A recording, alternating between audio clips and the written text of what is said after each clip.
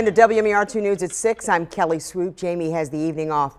Baltimore's latest deadly shooting, leaving a 31 year old man dead and another injured. That is under investigation tonight.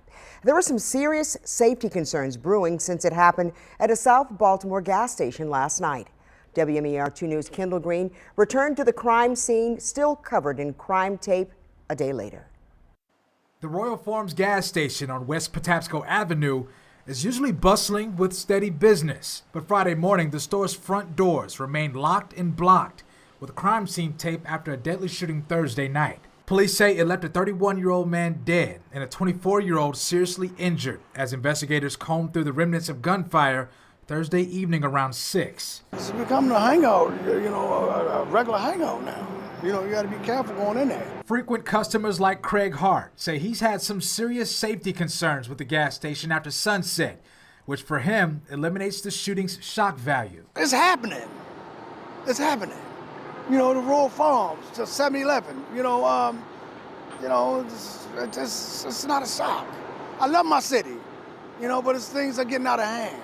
For Lawrence McConkey, who runs a towing company in the area, he says he's always had to keep his head on the swivel there. It's horrible. I mean, that's I'm up here every single day, all day long, taking cars out of here, and you know, I mean, I worry.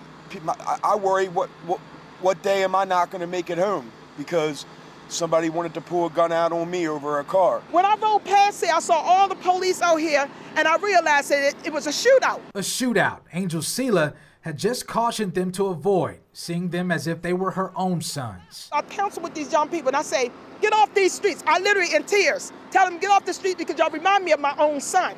I don't want to see a bullet in your back. I just told them that before this happened the night, the night before. Baltimore police are still investigating what led to the shooting as residents remain concerned still with where it happened. It's supposed to be a place, you know, you can go and get something to eat or snack and stuff like that, man, you know, but um, you know, I just pray, you know, again, you know, that family uh, of those victims, you know, uh, uh you know, uh, just come around. In Baltimore, Kendall Green, WMAR 2 News.